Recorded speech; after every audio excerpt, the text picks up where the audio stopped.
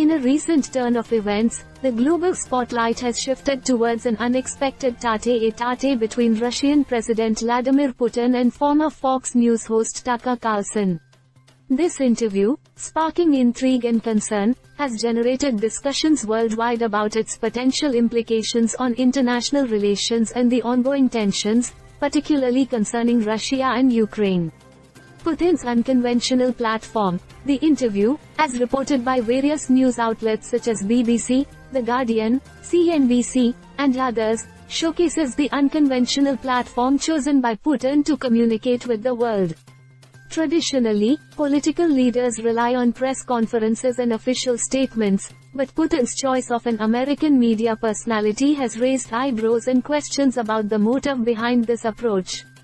Analyzing the Carlson-Putin dialogue, the content of the interview, as disclosed by multiple sources like the Washington Post and Live Mint, sheds light on Putin's perspective on global politics, the role of President Joe Biden, and his take on the ongoing conflict in Ukraine.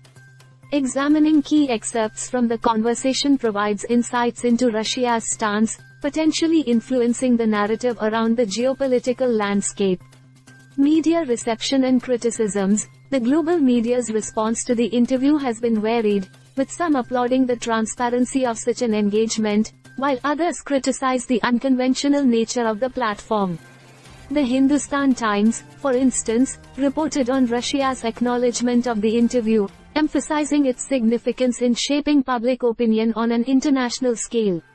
Ukraine War Live Updates The interview also coincides with live updates on the Ukraine-Russia conflict, as covered by CNBC. The juxtaposition of this interview with real-time developments adds a layer of complexity to the global discourse.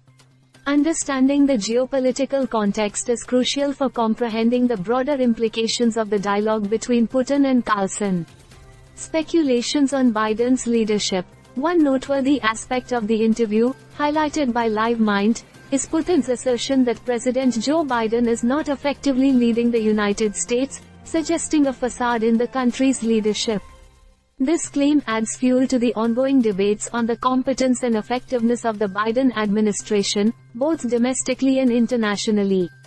The Putin-Tucker Carlson interview, conducted on an unconventional platform, has triggered discussions on global politics, Russia's stance on various issues, and the implications for ongoing geopolitical conflicts.